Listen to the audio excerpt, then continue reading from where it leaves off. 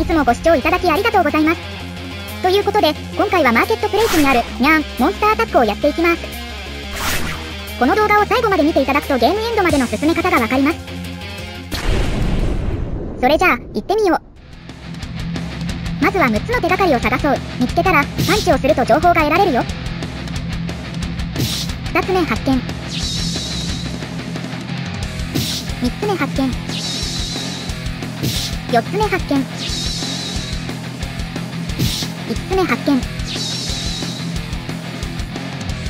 6つ目発見。わーお。6つの手がかりを見つけると先に進めるようになるよ。ゲートをくぐったら左に曲がろう。わーお。次はアスレチック。モンスターに道を壊される前に先へ進もう。ここが序盤の難所かもね。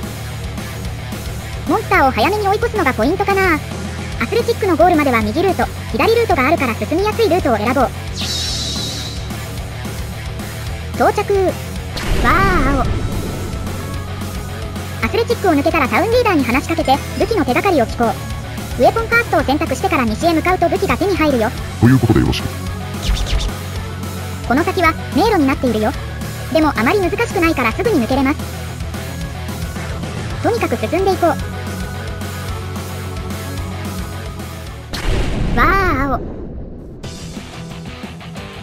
ここにいるハンターに話しかけて武器をもらおう。そして、野生のイノシシを倒して牙を10本集めよう。ここはイノシシをどんどん倒していこう。イノシシは少なくなると勝手にスポーンするよ。10本の牙を集めたらハンターに渡そう。わーお。ここでイベント発生。30秒間ハンターをイノシシから守ろう。ハンターには指1本触れさせないわ。このイノシシは必殺技より槍で一突きの方が良さそうだよ。数が多いのでそれなりにダメージを受けるよ。それにしてもイノシシが大量にいすぎる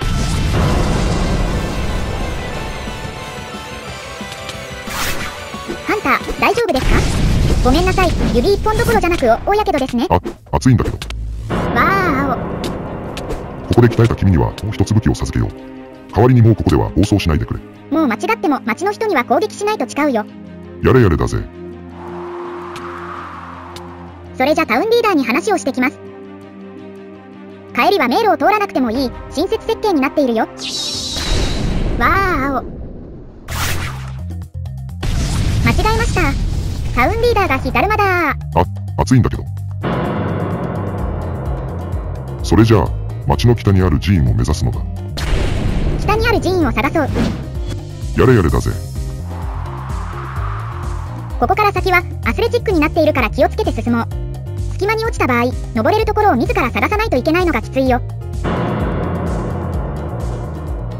結構高いところまで来たよ。あそこのはしごを登ったら寺院かな。寺院に到着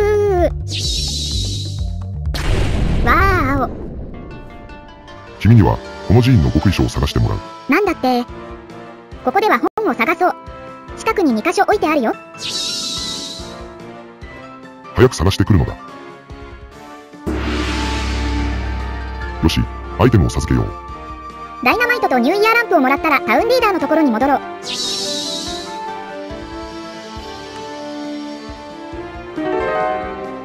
帰り道の途中でモンスターが出現するので注意しよう。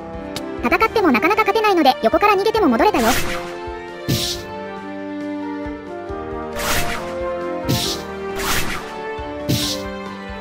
ません。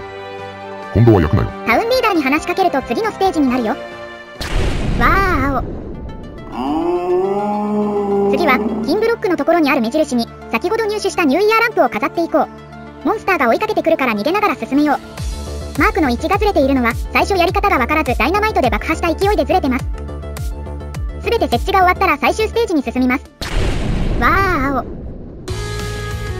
よーし、ボス戦だ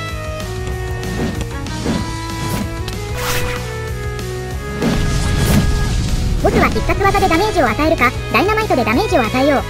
ただし、ボスの体力はなかなか減らないよ。ボスに倒された後に再チャレンジする際にダイナマイトは64個に増えるからたくさん使っても大丈夫です。ちなみに、ボス戦は2回続くので結構倒すのはきついです。2回目のボス戦は、ボス以外にも敵が出てくるので、さらに戦況が悪化します。敵を倒すとアイテムをドロップすることもあるので、有効に使っていこう。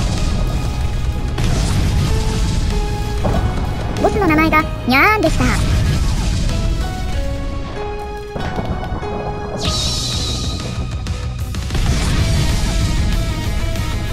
勝ったぞモンスターを倒すと中央にゴールポイントが出現するよ。わーお、行き過ぎた。残っている敵は無視しよう。これで、ゲームクリア。さっきの青いゲートはニューイヤーパーティーの門って書いてあったけど。一人なんですけどわーお。今回はマーケットプレイスにある、ニャン、モンスターアタックをやってきました。ゲームクリアまでの進め方は分かったでしょうか？内容が分かりやすかったなと思う方は、高評価、チャンネル登録をお願いします。このゲームはニューイヤープレゼントで配信されたものですが、現在もマーケットプレイスで入手できます。最後までご視聴ありがとうございました。それではまた次の動画でお会いしましょう。